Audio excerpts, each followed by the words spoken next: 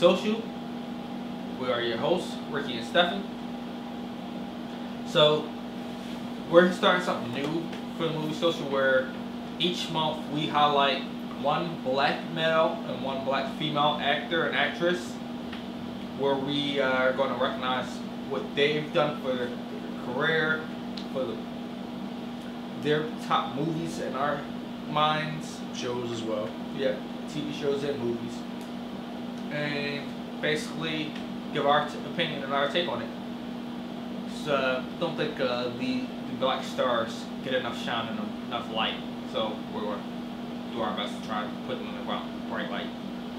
So to kick things off, we're going to be starting off with for the male actor. We're starting off with Denzel Washington, and for the female, we're going to do Regina King. All right. So And before I start, don't forget to like, subscribe. You know, um, turn your post notifications on, and uh, join the family. And always let us know what you guys think about in the comments below. Believe the racist crap at home. We don't care for it. So, boom. Denzel. Uh, my, well, one of my, one of my favorite Denzel movies is is Training Day.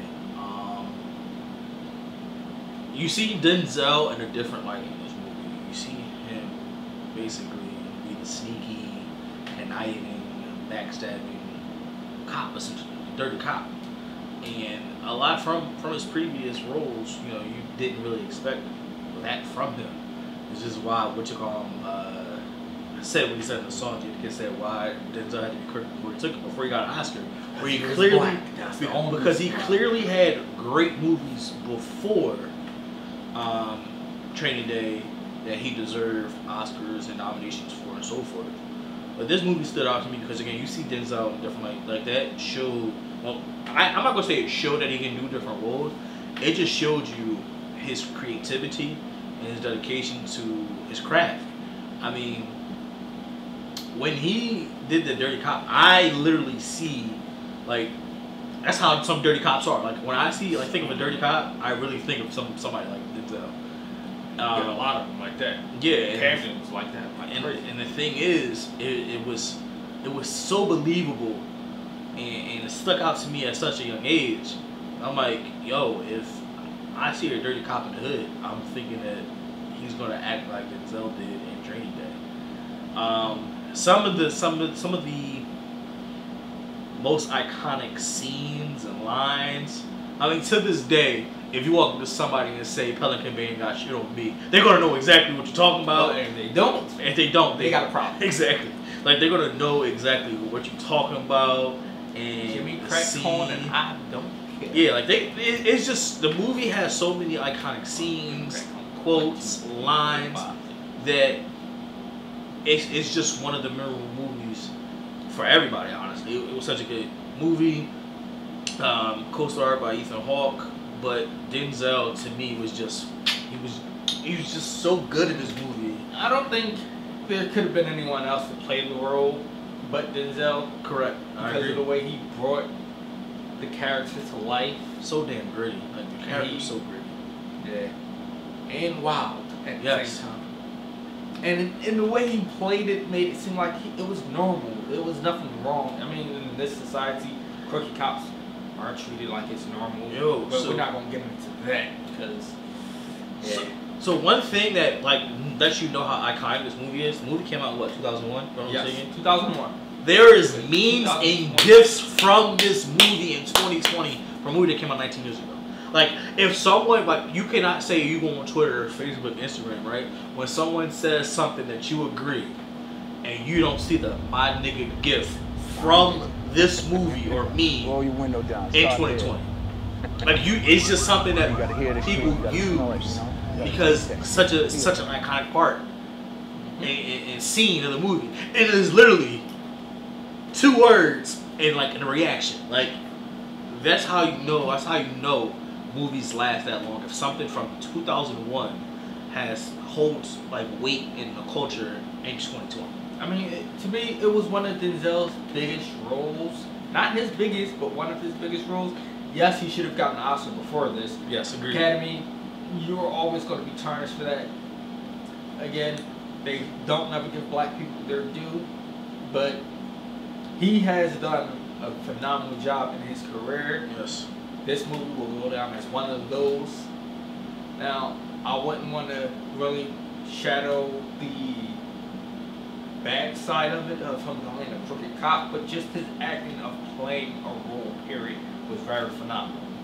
Now, to, for me, the first movie I would I'm picking, we're gonna go back to Remember the Titans.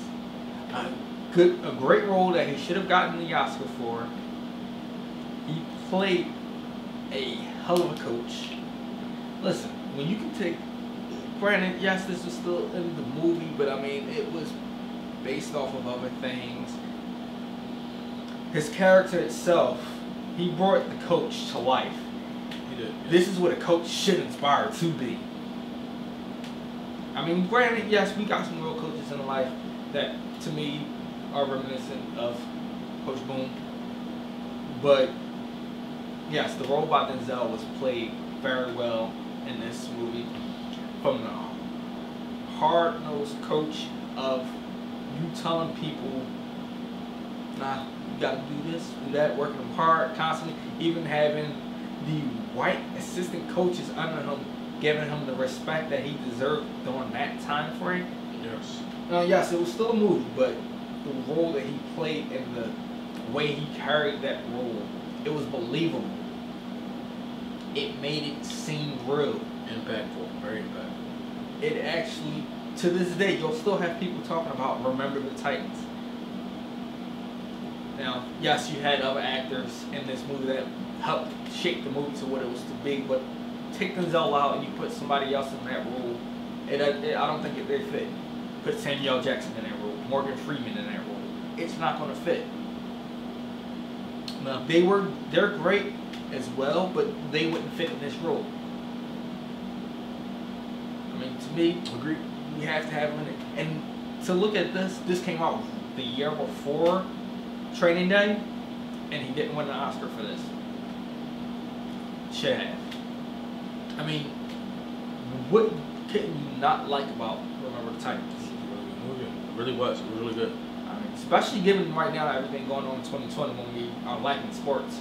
That's one of the movies. If I'm really dying for some sports, No, I'm gonna watch that. Not only sports, it, it brought up a, like Uh, just in racial today's one, issues. yeah, racial issues. I they brought, brought the team together, you know, because there was some players who didn't like the black players and stuff like Mhm. that. Who, who thought they were came together. and they came together for one common goal. because of the coach. And then them throwing bricks into his window at his home, threat, making threats and all that. Mhm. It made he made everything seem more believable and more realistic. And I, honestly, the premise of that movie needs to be echoed today because things are just like it was back then. Mhm. There's nothing changed but the year, if you ask me. But that was a phenomenal job by Denzel. Next week we'll be picking two more movies from Denzel's uh, great catalog of movies or roles. On to Regina King. So, um, I'm gonna do Regina King. Well, the, what I'm gonna pick for Regina King is a show um, that people know and love. Some people don't. It's very controversial to some people. It's the Boondocks. She played Riley and Huey in one of the best cartoons that I've ever seen in my life. Um, the dialogue that she had and the fluctuations of her voice and the acting for It The both of those, great it was I great. never knew. like and people never knew that it was first of all they never knew that it was a female. They never knew that it was one person playing then they never knew it was regina king. Like when people found out that it was regina king they were like hey yo what what? Both of them and the the show is so iconic in black culture like so iconic. Because like it's one of those dear black people like it, it shows us hey listen this is how we act how we act in some situations this is how we need to act like it, it, it's, it was like a dare black people And it was really relatable. it was very relatable very relatable there's there's there's um a lot of things and it's supposedly coming back Well, it's talks, but we don't know now since uh, John Witherspoon. R.I.P. man. Oh, granddad. And the thing is, like, I can only imagine how it would be like if they do come back. They, have definitely to have to do something. pay some respect to Exactly. They have to don't do want something. nobody replacing this character. Exactly. They need a new character. So if they do a cousin, uncle, somebody, but they, they can't have granddad. They gotta have somebody else. Um, I wouldn't mind them having like an uncle, like of like granddad had like a long uh, brother or something, helping coming in or something, or aunt, something. But I definitely don't want them to like try to replicate granddad because I I wouldn't be cool with that. yeah. Um, but all in all, the role that she portrayed in that movie, uh, as, I'm sorry, in the show as Riley and Huey, you have um, Huey, who is moments. black activist, essentially, a young black activist trying to do better in the world. He's just seen the world in a different light. Whereas, and then you have Riley, who is just your wild six, seven year old, foul mouth, uh, do whatever he want, and she played both of those roles how you would basically see in today's society. Like any young kid that, that that's loud, rowdy, I think of a Riley. Like I, I I've had I actually had a Riley in my family. I mean, he grew up to to you know mellow out, but I had a Riley in my family. And this this is it's insane. And then like the dialogue that she did between like literally the two characters, like to me, I don't know. I don't know how that is done. I don't know if they say, okay, Regina, I want you to read these lines as Huey, right? You just read those lines in your Huey voice. Then we're gonna take a break, come back, and you read the lines in, in, in your Riley voice. I don't know if that's done, or if it's literally her having dialogue by herself. Like if if it was done that way, that's absolutely amazing. I don't know how you can fluctuate your voice to sound like one person another person like while you're responding. So like she garnered my respect because again, I, at first I did not know it was Regina King playing both roles, and she's done some really great work. And then she literally, her and John Witherspoon are the reasons why the show took off. Of course. Um, for me, I'm going to be doing one of the movies, one of her more recent movies, Seven Seconds.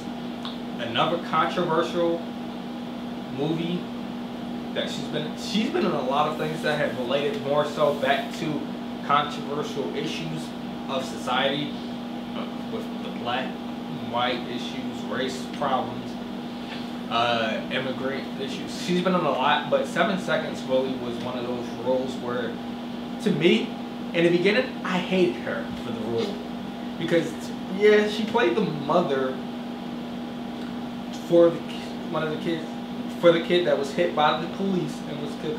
Like her issue towards the father in the beginning was kind of wild and crazy, but then she started to become more likable as a character, and she played her roles so well that you really either hate her or love her, which is something that you really want in an actor or actress.